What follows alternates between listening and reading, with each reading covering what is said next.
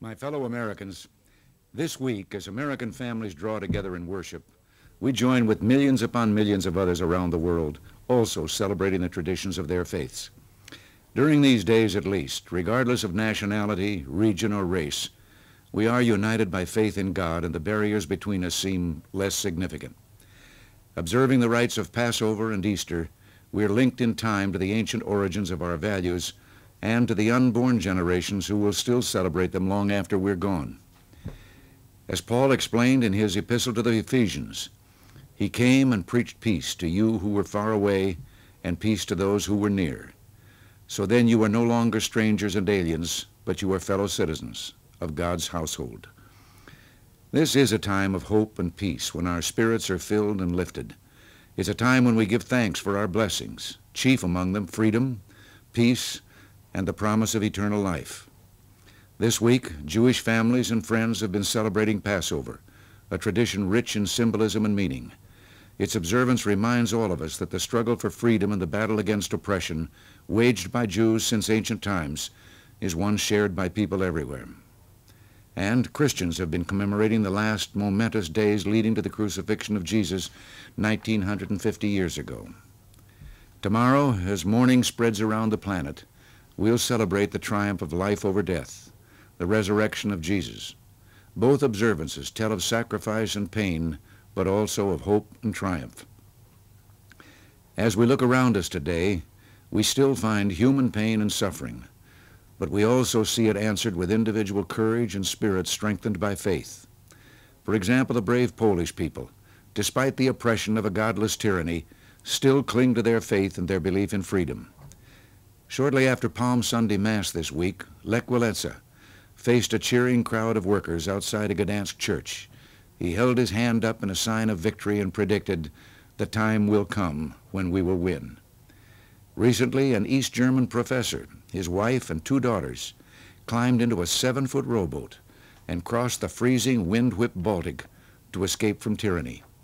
Arriving in West Germany after a harrowing seven-hour, 31-mile journey past East German border patrols, the man said he and his family had risked everything so that the children would have the chance to grow up in freedom. In Central America, communist-inspired revolution still spreads terror and instability, but it's no match for the much greater force of faith that runs so deep among the people. We saw this during Pope John Paul II's recent visit there. As he conducted a mass in Nicaragua, state police jeered and led organized heckling by Sandinista supporters. But the Pope lifted a crucifix above his head and waved it at the crowd before him then turned and symbolically held it up before the massive painting of Sandinista soldiers that loomed behind. The symbol of good prevailed. In contrast, everywhere else the Holy Father went in the region, spreading the message that only love can build, he was met by throngs of enthusiastic believers, eager for papal guidance and blessing. In this Easter season, when so many of our young men and women in the armed forces are stationed so very far from their homes, I can't resist recounting at least one example of their sacrifice and heroism. Every day I receive reports that would make you very proud, and today I'd like to share just one with you. While the San Diego-based USS Hoel was steaming toward Melbourne, Australia on Ash Wednesday, its crew heard of terrible brush fires sweeping two Australian states. More than 70 people were killed and the destruction was great. Well, the crew of this American ship raised $4,000 from their pockets to help, but they felt that it wasn't enough. So, leaving only a skeleton crew aboard, the 100 American sailors gave up a day's shore leave, rolled up their sleeves, and set to work rebuilding a ruined community on the opposite end of the earth. Just Americans being Americans, but something for all of us to be proud of. Stories like these of men and women around the world who love God and freedom bear a message of world hope and brotherhood like the rites of Passover and Easter that we celebrate this weekend. A grade school class in Somerville, Massachusetts recently wrote me to say, we studied about countries and found out that each country in our world is beautiful and that we need each other. People may look a little different, but we're still people who need the same things. They said, we want peace. We want to take care of one another. We want to be able to get along with one another. We want to be able to share. We want freedom and justice. We want to be friends. We want no wars. We want to be able to talk to one another.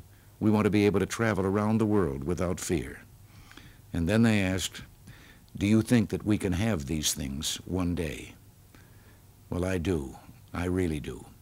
Nearly 2,000 years after the coming of the Prince of Peace, such simple wishes may still seem far from fulfillment. But we can achieve them. We must never stop trying. The generation of Americans now growing up in schools across our country can make sure the United States will remain a force for good, the champion of peace and freedom, as their parents and grandparents before them have done. And if we live our lives and dedicate our country to truth, to love, and to God, we will be a part of something much stronger and much more enduring than any negative power here on earth. That's why this weekend is a celebration and why there is hope for us all. Thanks for listening, and God bless you.